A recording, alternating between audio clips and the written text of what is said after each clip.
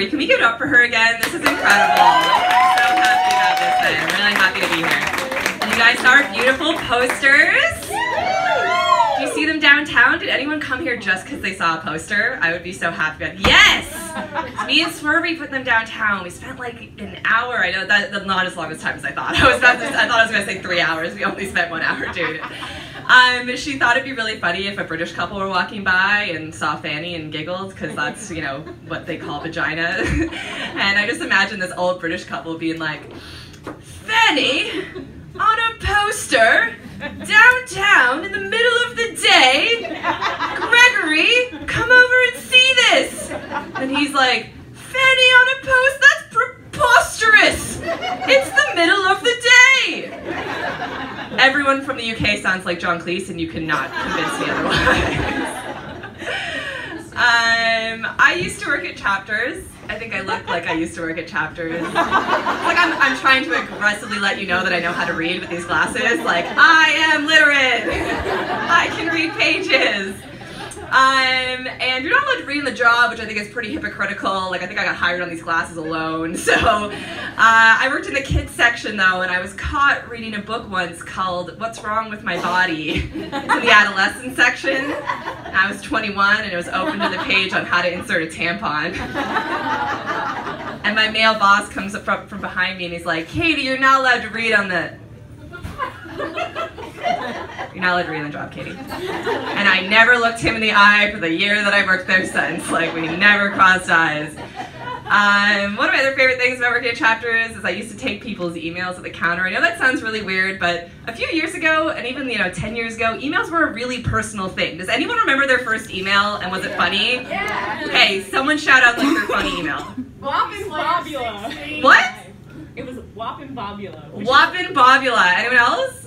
Scuba diving llama. Oh my god. right? Like they were just this weird assortment. It was like word association. You just type things out and you're like, guess this is my email now. And uh, but you know, some things got a little personal. Like if you told me your email was daddy's little girl xoxo at hotmail.com, like that's personal. I didn't need to know that your dad wasn't around when you were a kid, you know? Too sad. I'm sorry.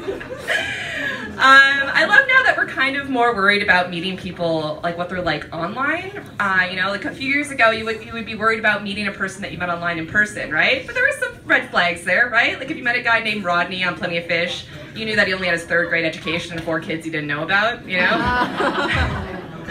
but now it's like I worry how I'm going to date, how they're going to perceive themselves online, you know. You don't know what people are sharing, and a friend of mine actually broke up with a guy because um, he didn't use like the Apple or Android emojis. He would just use his own, which one red flag. They're there to use, okay? and second of all, he would add a little nose in there. You know, it was like semicolon dash and parenthesis, right? And she told me she broke up with him over that. And I was like, dude, that's ridiculous. Throw away your phone, delete your number. He's a sociopath. Whoever has time to write in the dash and the emoticon, what else do they have time to do? Kill people? Like, that is way too crazy, dude. I do not trust people who have noses in their emoticons. I'm sorry. They were meant to be noseless. That's just a fact. Um, I also really appreciated the old couples that would come in and give me their emails. They'd be like, yeah, that's Pam and Doug from Carbonear NL at sympatico.nf.ca. I was like, wow, that is specific. Are you the only Pam and Doug in Carbonear? No, they were not. Sure enough, different couple next week. Yeah, that's Pam and Doug from Carbonear NL1 at sympatico.nf.ca. I was like, damn. You had to put a number in there. And They're like, yes, it was taken by our neighbors, Pam and Doug. Then, you know, sure enough, a few weeks later, a different couple, Pam and Doug. I'm like, all right, I know this. Pam and Doug from Carbonear NL, 2 at sympatico.nf.ca. And they were like, no, it's Pam and Doug from Carbonear NL. We love our grandchildren so much at sympatico.nf.ca. I was like, I know that's too many characters. I know that's too many. You know, it kind of reminds me of those signs you see around the bay that say, uh, Nan and Pops, hugs and kisses, sleepovers. You guys seen those? One time I saw one that just said Pops and it just said kisses. And there were two other blank slats of wood where you're supposed to fill stuff in. It was like a choose your own adventure, you know? And I did not see that adventure going very well, you know? Uh, guys, by, far, by far the worst email I've ever gotten. It even feels disgusting to say. Uh, the man approached the cash licking his lips, so I already know that something was going on, right? If anyone walks towards you like, mm, you're like, mm, nope, nope. But I could not escape. I was behind the cash. And uh, so I asked for his email, and he leans over and he goes, yeah, that's uh, Freddy's Slippery Fingers oh. at hotmail.com. I was like, um, what? He's like, F R E D. I was like, no, no, no. I heard it.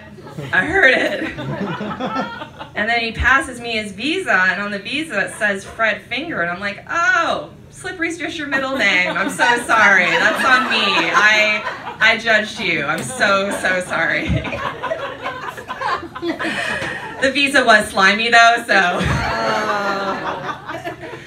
Um, I'm really lucky because I grew up in a house where my mom was like a third wave feminist and it was sick, right? Like she institute, uh, uh, like made an organization in her university where she would like have, you know, it was like feminists and they would, and this was in the 80s, and they'd walk, you know, women home on campus so they were safe. It was a super cool initiative, right? But sometimes I think my mom's feminism hasn't really translated into a new era, you know? And uh, the other day she's like, Katie, women just don't know how to parallel park. And I was like, I don't, I don't know as a feminist you should be saying that. And she's like, I'm going to teach a course for feminists, for women, to teach them how to parallel park. And I'm like, I think at this point it's just reverse feminism, mom. And it's like, ah, the only reason I know is because of the camera in the back of my car. Like, I would be gone without that, okay? So unless you want to put cameras on everyone's car and that's what you want to call your feminist, you know, parallel parking course, then go ahead, right? Um, but I'm a feminist. I love being a feminist. I love shows like these and seeing everyone out here. It's really great. I did do one really unfeministic thing in my life, and that was uh, starring in a rap video. yeah, me, me, chapters girl, right? Like I'm not your first choice, right? Um, I did it when I was 20 or 21 and in university. Uh, I did it for my drug dealer because at the time I really thought he was the only place I could get weed, right? Where now I'm on Water Street, I throw a stone and I hit like five dispensaries, right? Like if only times were easier then.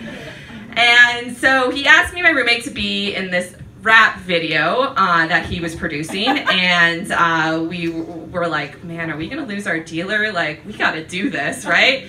So his premise was that the two of us would wear um, stocking caps over our faces, and we would pull his friend in a rickshaw. Does anyone know what a rickshaw is? It's like I, there's no other way to, I can describe it than like you know, like it's that guy pulling stuff. We were going to wear uh, yeah, pantyhose over her head, pull this guy in a rickshaw, and um, it was going to be something about like mixing codeine and cough syrup. I don't know, something about that. And anyway, so we agree to do it because we're very nervous about losing our dealer, but we know this doesn't feel right. You know, we know it doesn't feel right to have two women pulling a man with just a fur coat on and nothing on underneath in a rickshaw. Like, we know this is not feministic, right? We have the inkling, but we're like, we don't want to lose the dealer, you know? So um, I was like, oh, we can't wear pantyhose, dude. People are still going to see our faces. We need to be totally covered. I, I cannot have people see me in this video. So I go out and I buy like a ski mask and I cut a hole out in the top for my ponytail. It actually looked really sick. I looked at myself in the mirror and I'm like, I'm ready for a rap video. And then my friend buys this like Hannibal Lecter type mask, right? And we're like, good. We vaguely recognize each other. We are ready to shoot a rap video. All good, right? So we go to meet up with our drug dealer, and he's like a five foot three man with very evident short man syndrome, right? He like walks in he's like, yo, ladies, what's up? All right, gonna pull a rickshaw. And uh, he's like, I want us I want us to come out of a mansion. This was in Halifax at the time. So we go in the middle of the day to the nicest neighborhood in Halifax, and he's just like, "Yeah, all right, let's go here." I was like, "Do you have permission?" He's like, "We don't need permission for this video." I was like, "Pretty sure we do."